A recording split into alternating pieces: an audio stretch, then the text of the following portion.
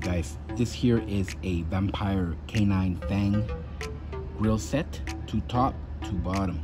Now these um, these are solid 925 sterling silver with gold plating.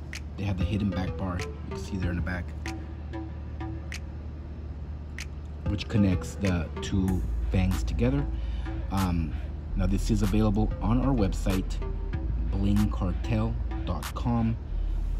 This is a handmade uh, set. Pointy vampire fangs on top and the bottom. Uh, check it out, guys. blingcartel.com. There it is. Thanks for watching.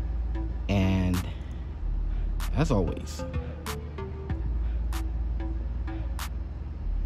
y'all have a good one.